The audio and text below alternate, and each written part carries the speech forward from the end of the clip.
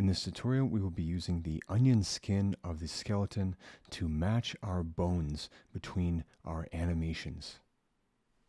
We'll be using several Mixamo animations from the Mixamo library. You can go here with your Adobe account and download them for free and import them into your Unreal Engine. Once you have downloaded several animations, I have a kick here, a taunt, and a dodge using the skeleton, the default skeleton that comes with Mixamo. This is an example of each of the animations played individually. We have the taunt. Checking the time here, taunting.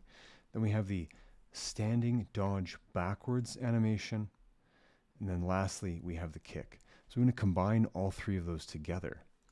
Now, if you were unaware, you can go into your character and you can actually turn on the skeleton to be used as an onion skin.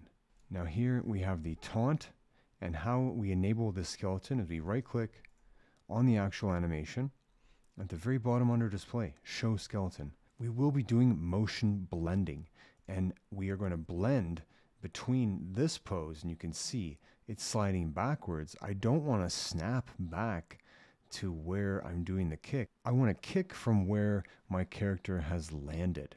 So in order to do that, I'm going to select the dodge animation that we have here. We taunt and then we're dodging. I'm going to right click on the dodge.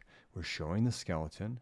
I'm going to match this bone in the previous clip with the hips.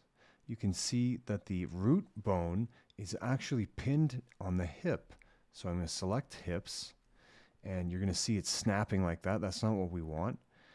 And our character is turned. Why are they turned?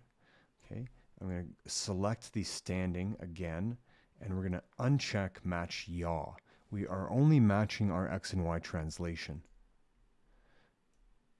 So playing from the beginning, we're taunting, jumping backwards,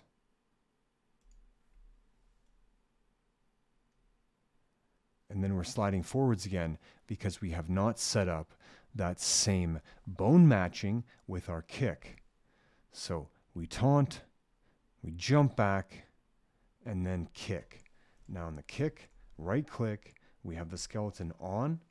We have our match X and Y. We don't want to match the yaw. I'm going to turn that off. Right click, match with the previous bone. Same thing. We're going to match with the hip. Now when we play it from the beginning, taunting, jumping backwards, and kicking. Now we're in a T-pose looking very awkward. That's not at all what I want. How do we correct that? Right click on our final animation, properties. When finished, we are going to keep state.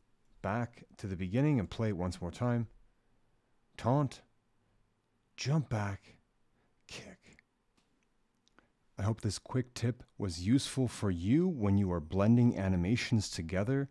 It helps me visualize the problem when I can see just exactly where my skeletons are lining up with the previous or the clip that is coming up next.